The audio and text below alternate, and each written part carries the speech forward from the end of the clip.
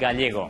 I ara parlem ja de la tercera divisió. L'Olot ja és campió, s'ha assegurat a més, i no és poc, la classificació per a la pròxima edició de la Copa del Rei, i pel que fa al playoff està pràcticament tot decidit. Veiem aquesta classificació a la tercera divisió amb l'Olot en la primera posició, mentre que l'acompanyen i ja tenen la eh, presència assegurada al playoff, el Paralada i el Vilafranca, mentre que el Terrassa ho té pràcticament fet, perquè la diferència de gols que el separa respecte al Sant Andreu, que el podria atrapar punts, eh, fa que, perquè el Sant Andreu pugui prendre-li la quarta plaça, hagi de guanyar en l'última jornada, que el Terrassa perdi i que, a més a més, s'aixuguin els 8 gols de diferència que hi ha en el còmput general entre els dos equips. Per la part de sota, el Sabadell B i el Júpiter ja són equips de primera catalana. En l'última jornada mirarà de sortir d'aquesta zona de descens directe al Manlleu i compta amb les places 15, 16 i 17 perquè amb els descensos de segona divisió B són places que també podrien acabar amb equips baixant a primera catalana.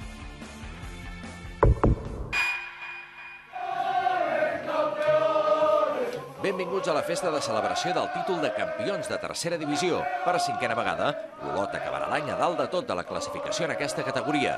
Per certificar-ho en tenia prou amb un punt, però va clavar una maneta incontestable al Castelldefels. Marc Mas va tancar una temporada de somni amb un hat-trick que enfilava fins als 30 gols al seu registre. I Héctor Simón, amb dues dianes més, també va tenir protagonisme en aquesta jornada festiva. Els de Ramon Maria Calderé tenen ara al davant 180 minuts per aconseguir l'ascens a segona B certificada ja la bonica lluita pel títol que han tingut durant tot l'any Olot i Paralada, els empordanesos van golejar l'Escó per 3 a 0. Els dos primers, marcats per Ernest Forgas, i a l'últim minut de partit, Jorge Sureda tancava el marcador per als de casa.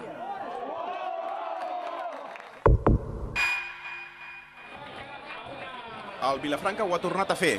La seva victòria, combinada amb la derrota del Sant Andreu, els torna a portar uns play-off, com ja ho van fer la temporada passada. Contra un Manlleu que necessitava sumar per allunyar-se del descens, Iosu va encarregar el marcador i no va ser fins al minut 91 en què els penedesencs van tancar la victòria. Amb aquest contraatac culminat per Jordi Oribe. El Terrassa s'assegurava playoff guanyant la Pobla de Mafumet, però només va poder sumar un punt.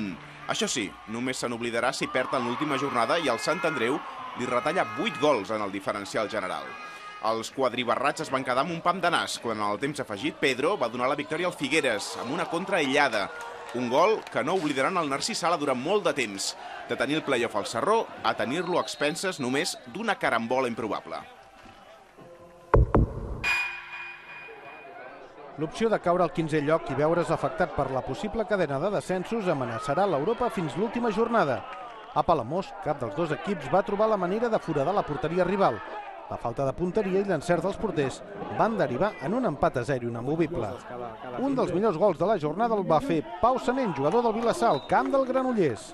Els dos equips jugaven sense pressió perquè ja tenien la feina feta. L'efectivitat, però, va caure del costat visitant amb el 0-2 de Sofian i una altra diana de Pau Sanent.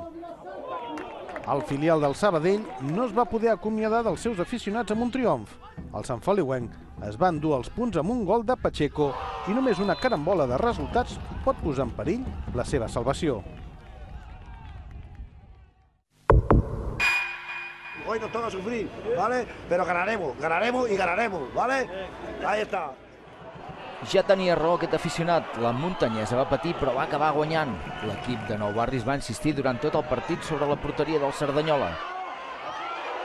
El gol va arribar quan només quedaven 4 minuts. El va fer Pedro García i la Munta lluitarà per la permanència. En canvi, el Júpiter ja ha confirmat el descens.